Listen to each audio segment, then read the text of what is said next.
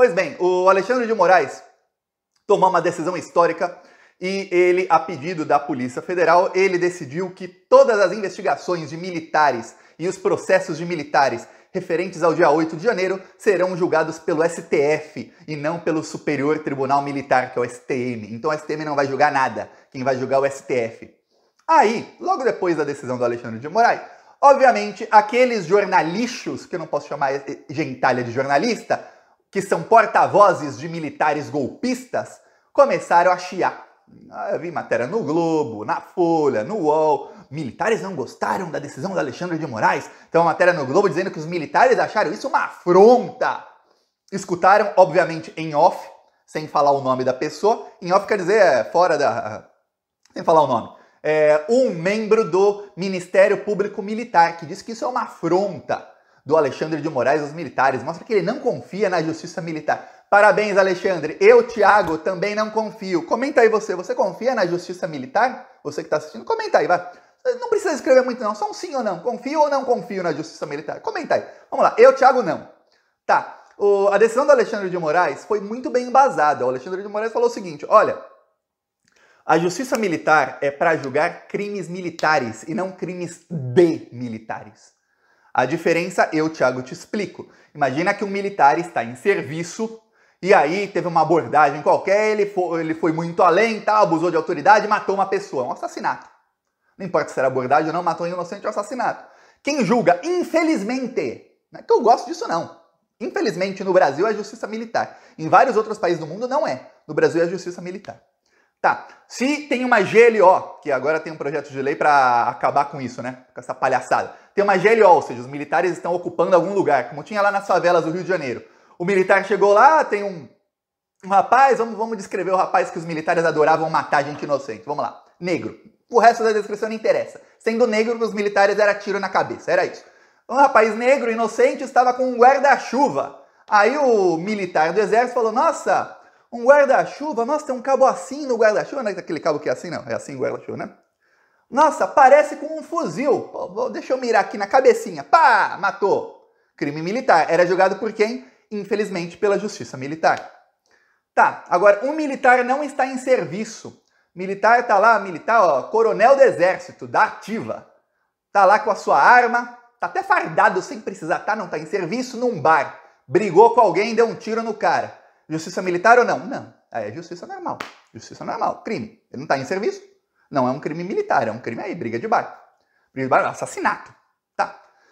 Então Alexandre de Moraes deixou isso muito claro para os milicos. Só, só que aí o que aconteceu? Eles começaram a chiar, chiar, chiar. Uh, o, o UOL também, e o Globo também, escutaram ministros do STM dizendo que, olha, isso é uma afronta, tinha que ser nosso. Aí os procuradores do Ministério Público Militar falaram, mas a gente já abriu oito investigações e não sei o quê, papapá. Só tem um problema, um problema. Teve uma entrevista agora, faz poucas horas, do novo presidente do STM. Vou mostrar a foto dele aqui junto com o Luiz Marinho, que é o ministro do Trabalho do Lula. Aliás, Luiz Marinho, parabéns! Foi o Ministério do Trabalho quem encontrou os escravos lá da Aurora, Salton e Garibaldi. Foi o Ministério do Trabalho do Lula que encontrou, viu? Saiba muito bem disso. Vamos lá, eu vou mostrar a foto. Presidente do Superior Tribunal Militar, que vai assumir semana que vem ministro do Trabalho do Lula. Esse senhor aqui, presidente do Superior Tribunal Militar, já pode chamar ele de presidente porque não vai ter sessão até ele assumir. Então, presidente. Presidente do STM, ele era piloto do Lula. Ele foi indicado ao STM pela Dilma. Pensa num cara que fez o L com força, que apertou 13 na urna, deve ter apertado 13. Na hora que ele apertou o verde do confirma, deve até ter quebrado a urna de tanta força que ele apertou o verde. É isso que eu falei, esse é o presidente do STM novo. Sabe o que ele falou na entrevista dele? Eu concordo com a decisão do Alexandre de Moraes. Quem tem que julgar os militares é o STF mesmo. Aí ele reiterou o que eu, Thiago, disse duas semanas atrás, e eu vi comentários no Plantão Brasil, tem, tem um pessoal que é muito cético na esquerda. Eu falo um negócio, você vai lá e comenta, é, não é verdade, não vai estar assim, ninguém vai preso, nunca acontece nada. Olha só, Deus começa falando, Thiago, não vai mudar nada. Eu falei duas semanas atrás, ele confirmou aqui novamente o que eu falei. Palavras do Thiago viraram palavras do ministro aí. Não sei nem se ele viu o vídeo, usou até palavras parecidas. O STM vai complementar, o, a Justiça Militar vai complementar o que a Justiça Civil fizer. Ou seja, Justiça Civil, STF, Código Penal, é a justiça que todos nós estamos sujeitos. Justiça militar é aquela para os militares que sempre dá um jeitinho, sempre dá aquele jeitinho para ajudá-los. Agora não vai mais ter jeitinho, não. O presidente da STM falou: ó, se tiver investigação aqui, porque as investigações que estão já não existem mais. As oito investigações que estavam na Procuradoria Militar vão para a PGR agora e para a Polícia Federal, ou seja, não vai ter mais investigação. Se, se abrirem nova investigação aqui sobre, sobre esses fatos, vai ser complementar, ou seja, ah, o cara pegou 30 anos de prisão na STF, pô, legal, pegou mais 10 aqui, 40, viu? E um complementa o outro, ou seja, se você ganhar progressão de pena lá e não ganhar aqui, fica preso.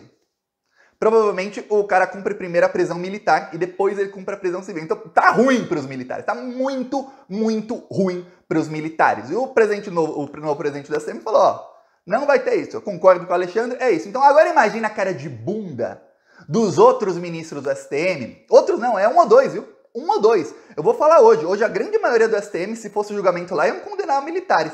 Obviamente que a gente sabe que uh, sempre amansam um pro outro, mas a cara de. Imagina a cara de bunda desse um ou dois que tava, que tava soltando notinha, porque é o mesmo, viu? É o mesmo que tem contato de jornalista do Globo, tem contato de jornalista da Folha e do UOL, de jornalista do Metrópole, é o mesmo, um ou dois, viu? E aí sai matéria em quatro, cinco, seis portais diferentes com as mesmas frases da mesma pessoa. Aí você fala, nossa, tem uma unanimidade aqui sobre o assunto entre os militares. Não é. É só a visão de um. E os jornalistas fazem o papel de porta-voz de, de, de milico golpista. Então agora imagina a cara de bunda deles. Aí o, o pessoal da Procuradoria Militar alegou, não, mas a gente abriu oito investigações aqui e as investigações estão avançando. Só que tem um problema, o Alexandre até citou. O, a procura, pa, passaram já 45 dias do dia, do dia 8, 45, 50 dias praticamente. É, 50 dias passaram. Tá, 50 dias depois, a Procuradoria-Geral da República já denunciou quase mil pessoas foram mais de 1.500 pessoas presas pela Justiça Civil, pela Justiça Comum.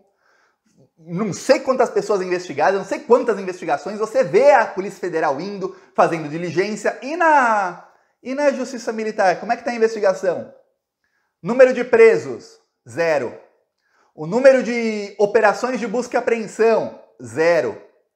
Número de. Qualquer coisa você falar, zero, você não sabe em que pé está a investigação. A única coisa que você sabe é o seguinte: um, ninguém foi preso. Dois, não colocar a polícia militar nas ruas para fazer operação de busca e apreensão, ou seja, não estão nem tentando conseguir provas aí dos bandidos militares.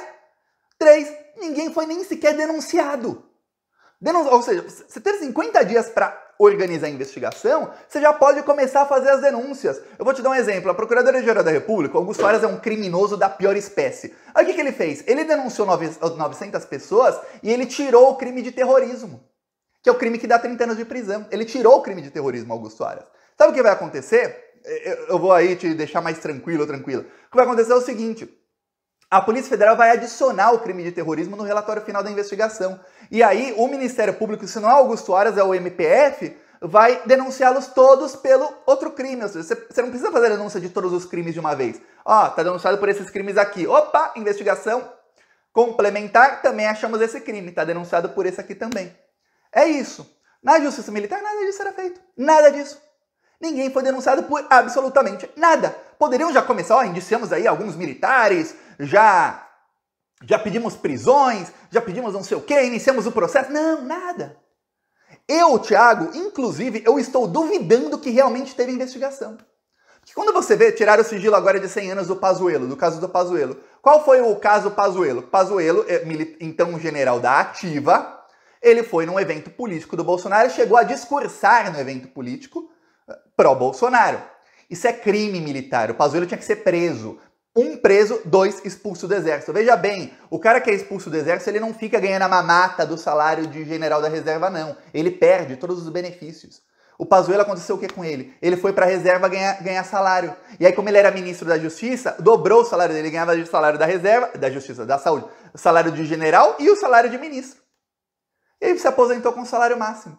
E aí descobriram o quê? Que ele chegou a avisar o então comandante do exército que ele ia no evento, ou seja, o comandante do exército era cúmplice dele. Fizeram o quê? Os milicos vagabundos colocaram, colocaram 100 anos de sigilo na investigação, para que a gente não ficasse sabendo. O governo Lula tirou o sigilo, também cheio de matéria. Assim tá aí nome aí. Thaís Oyama fez umas três, uns três artigos aí falando: ah, militares não querem que tire o sigilo do Pazuello. Aí os militares estão assim, ai, ai, ai. A coisa, eu já falei aqui várias vezes, a coisa mais delicada do mundo é o ego de um militar. Mas, nossa, se você falar um, uma vírgula fora do lugar, o militar. Ai, ai, meu coração, estou ofendido. Ah, não, essa pessoa não gosta de militares. Ah, é instituições. É isso. Selva, selva, é isso. Ó, peço aí a sua inscrição no canal para a gente seguir aí acompanhando o caso e lutando contra esses malditos. Falou!